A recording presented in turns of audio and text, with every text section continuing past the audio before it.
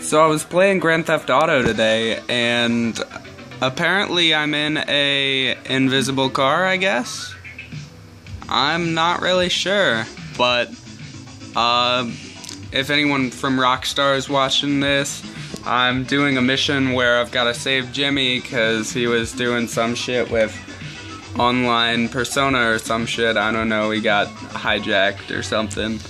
But uh, yeah, it's weird and I don't know how else to describe it, lol.